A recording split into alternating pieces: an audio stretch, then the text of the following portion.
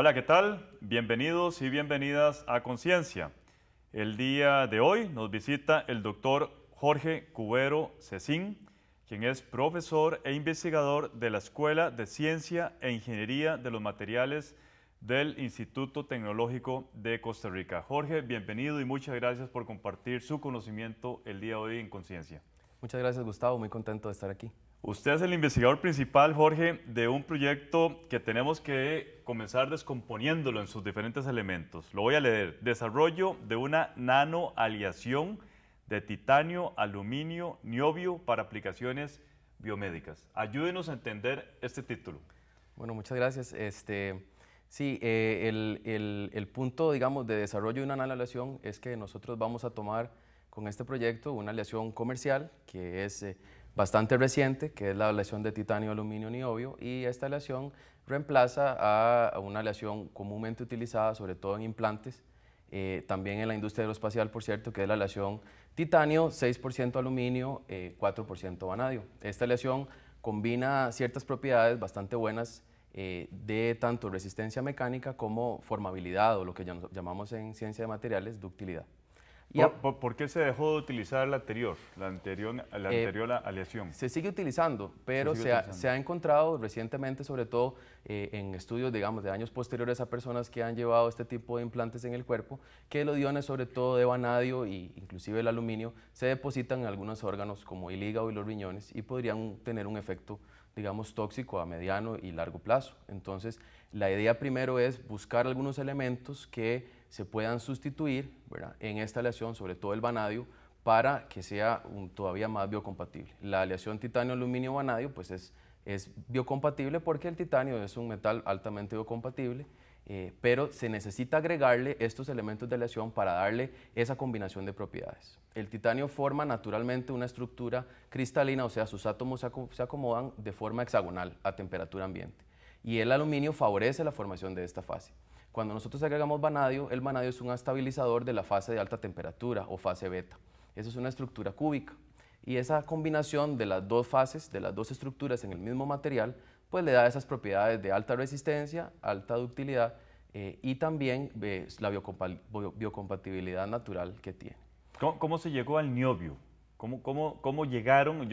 usted dijo que eso se adquiere comercialmente, ¿verdad? Pero ¿cómo llegaron los, los científicos en ese momento al niobio? Bueno, si usted va a la tabla periódica va a ver que el, el, vanadio y el niobio están bastante cercanos. Entonces, eh, químicamente se, eh, se prueba eh, haciendo diferentes mezclas, fundición de diferentes aleaciones, para tratar de, de, encontrar no solo el elemento adecuado, sino en la composición adecuada. Entonces, la composición de 4% vanadio que se pone en la aleación titanio-aluminio-vanadio se debe incrementar a, a 7% niobio. Entonces, a nivel de, esto es una investigación de tal vez hace 15 o 20 años, ¿verdad? Eh, los, los, investigadores en, en ciencias de, de, ingenierías, pues debieron, de los materiales, debieron hacer pruebas eh, a nivel de mezclar estos, estos componentes eh, y encontrar una aleación que forme termodinámicamente las mismas estructuras. Entonces es casi como copiar el edificio con, un material, con diferentes materiales. Copiar la forma del edificio, la estructura del edificio, pero con diferentes materiales. Entonces usted me preguntaba la parte de, ir desmenuzando el título, ¿verdad? Entonces ya hablamos un poco del material, eh, la parte de nanoaleación, ¿dónde entra? Bueno, eh, nosotros trabajamos para... Eh, expliquemos el sufijo nano. Nano, ¿verdad? ¿De dónde viene la parte nano? Entonces, en nanotecnología tenemos dos, dos vertientes, ¿verdad? Una que es desde abajo hacia arriba o bottom-up, que es la nanotecnología clásica que se ha venido conociendo en el mundo y en el país, que es eh, átomo por átomo, partícula por partícula, ir creciendo eh, estructuras, nanopartículas, nanotubos, eh, capas delgadas, para una determinada aplicación. En este caso, nosotros trabajamos más bien top-down, desde arriba hacia abajo. Entonces, vamos a tomar las aleaciones comerciales y vamos a deformarlas plásticamente a altas presiones, que es el tópico que hablaré un poquito más adelante, que es la deformación plástica severa de aleaciones metálicas y también de algunos componentes cerámicos que es posible nanoestructurar aplicando eh, altas presiones y deformación mecánica. Entonces, eso hace que podamos tener un producto que es macroscópicamente utilizable, es una barra, es un disco, es una pequeña lámina, pero a lo interno su estructura cristalina es de tamaño nano. Entonces, las interacciones que se dan entre el titanio, el aluminio y el niobio forman fases de tamaño nanoestructurado. Una, de, las, de los componentes más importantes de mayor interés es comprobar resistencia y ductilidad de estos eh, eh, materiales. ¿Qué capacidades tiene el titanio, el aluminio y el, niobio en este sentido? Bien, eh, como le comentaba, bueno, el titanio en general es, realmente, se dice que es el, el metal liviano del, del, próximo siglo, ¿verdad? Ya lo fue en el siglo XX el aluminio, ¿verdad? Que llegó en su momento a reemplazar al, al, acero en muchas aplicaciones, ¿verdad? Sobre todo en la parte aeroespacial, ¿verdad? Y en la industria alimenticia, ¿verdad? Porque por su, por su relativa, y, digamos, eh, baja resistencia, a, a, alta resistencia, perdón, a la corrosión y, y su, digamos, capacidad de incrementar su resistencia mecánica llegó a reemplazar al acero en industria automotriz, en la parte aeroespacial, ¿verdad? Y también por su buena, digamos, eh, es inerte con respecto a, por ejemplo, a los alimentos, ¿verdad? Su resistencia a la corrosión era superior al acero en, en, en muchas aplicaciones, ¿verdad? Y, y, peso, me imagino. Que eh, claro, también. ¿verdad? Y esa es la gran, el gran empuje de la industria, digamos, aeroespacial en el siglo XX, ¿verdad? Que era poder hacer los fuselajes de, de metales livianos. Pues el titanio ha ahora revolucionado bastante, se utiliza muchísimo en industria aeroespacial, pero además de ser liviano y resistente, ¿verdad? De ahí de su, su nombre eh, su nombre químico, eh, tiene también esa propiedad de biocompatibilidad.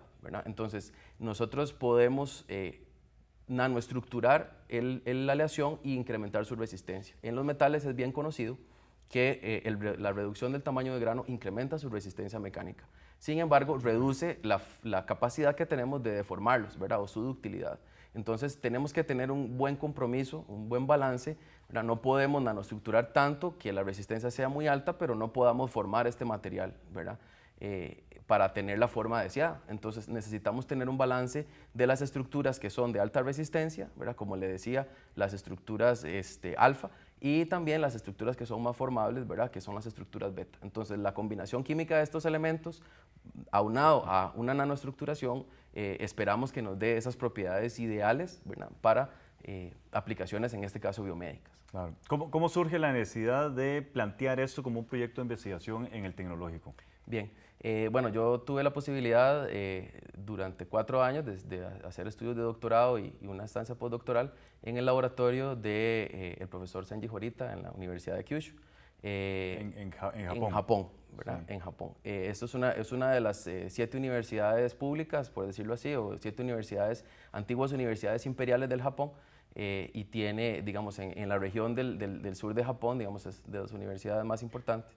Y en el laboratorio de, del profesor Jorita eh, es especialista en estas técnicas de, de deformación eh, plástica severa para producir metales nanoestructurados. Allá tuve la chance de trabajar un poquito con aleaciones de aluminio, principalmente, ¿verdad? Y sobre la línea de los metales livianos, se vislumbra ¿verdad? que eh, el titanio ¿verdad? y posteriormente el magnesio serán, digamos, como el futuro de esta, de esta corriente de los metales livianos, en términos de la reducción, digamos, de emisiones eh, de carbono, en términos de vehículos más eficientes, baterías eh, claro. y nuevas tendencias. Permíteme hacer una pausa y continuamos en el siguiente segmento con esto que es muy importante. Ya regresamos.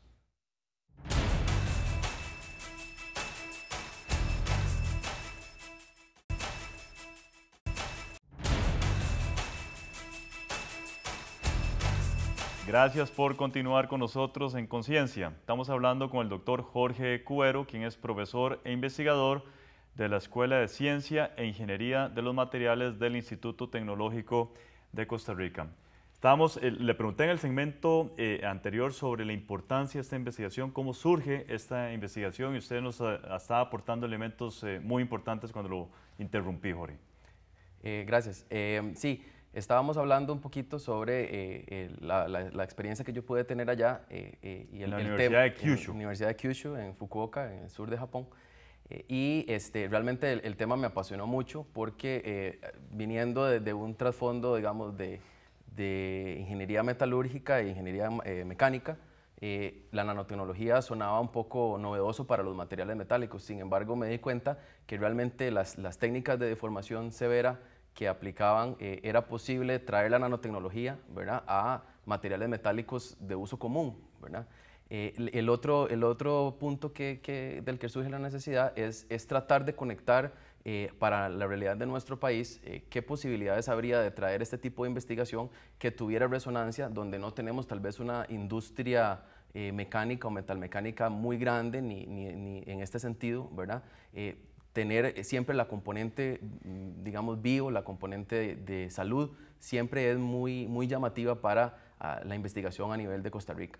Entonces, poder conectar esta investigación, que inicialmente es meramente algo muy mecánico de la ingeniería eh, para aplicaciones, digamos, eh, industriales, poderlo traer a una conexión eh, vivo, tanto por la, atracción de, digamos, de, fondos para nacionales, así como la conexión con la industria biomédica y de dispositivos médicos que se ha desarrollado tanto en el país. Jorge, ¿cómo se da este vínculo con, con, esta Universidad de Japón? Sí, bueno, como le comentaba, yo tuve la, eh, la posibilidad de hacer estudios de doctorado eh, con una beca. ¿A partir de sus estudios? A partir de mis estudios, con, una, con la beca diplomática del, del gobierno de Japón beca Monbu Kagakusho, que eh, permite a los estudiantes y a profesionales costarricenses hacer estudios doctorales allá.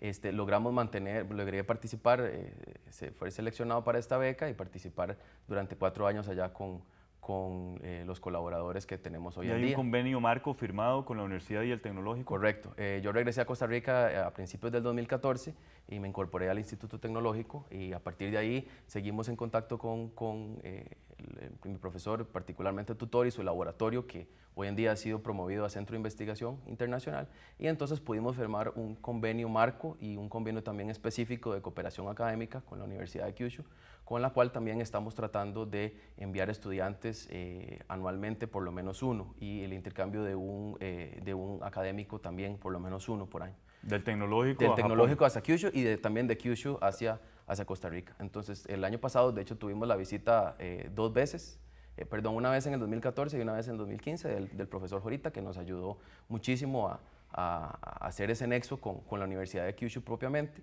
Y este, este año también estaremos, yendo, y, estaremos, estaremos yendo allá eh, mi persona y también dos estudiantes de nuestra carrera. Coméntenos qué tan pionera es, o innovadora es esta disciplina en, en, la región, en toda la región. Eh, es bastante pionera, ¿verdad? la nanotecnología pues obviamente ha entrado en diferentes eh, universidades de nuestra región, pero son eh, prácticamente muy pocas, eh, prácticamente nulas las, las universidades que trabajan en nanotecnología de arriba hacia abajo.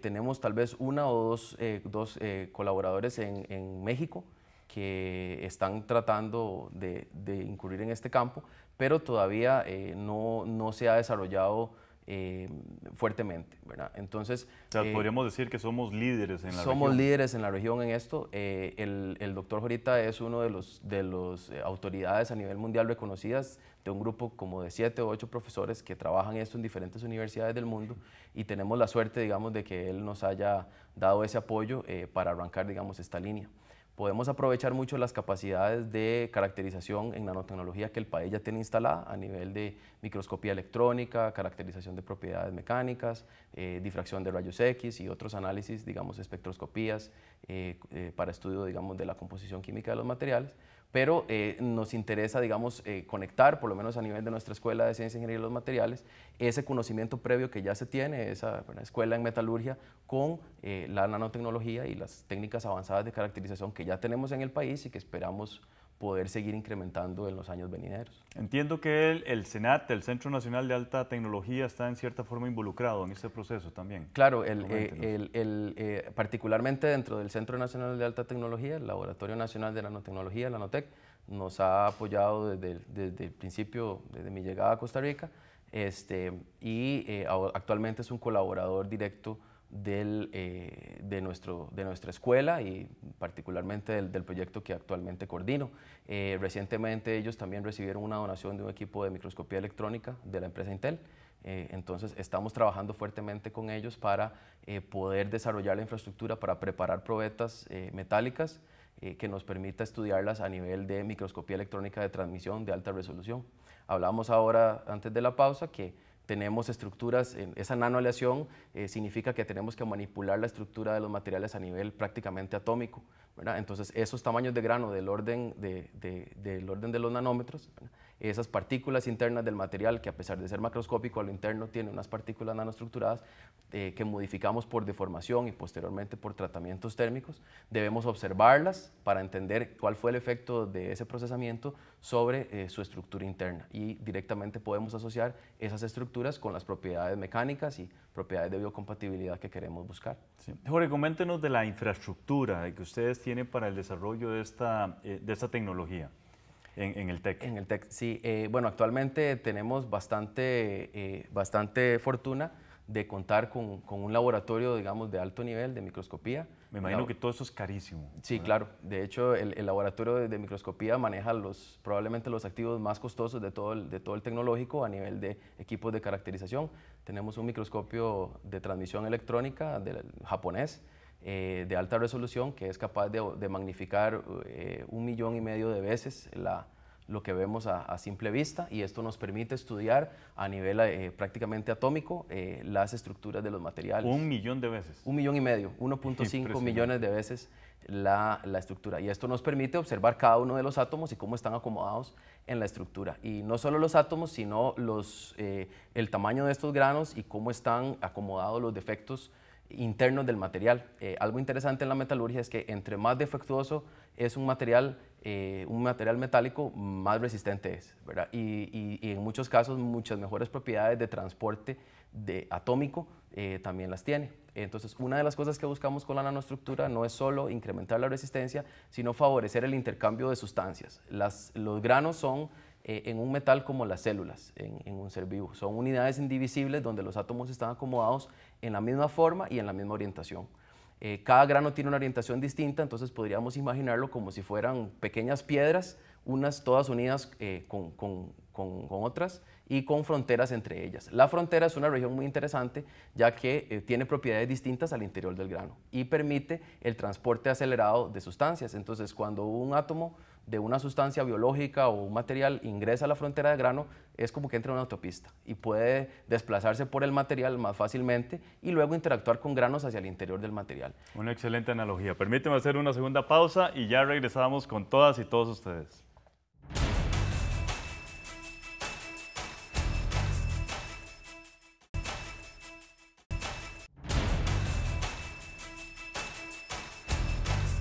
Continuamos conversando con el doctor Jorge Cubero, quien es profesor e investigador de la Escuela de Ciencia e Ingeniería de los Materiales del TEC, como cariñosamente conocemos al, Tecnológico eh, de Costa Rica.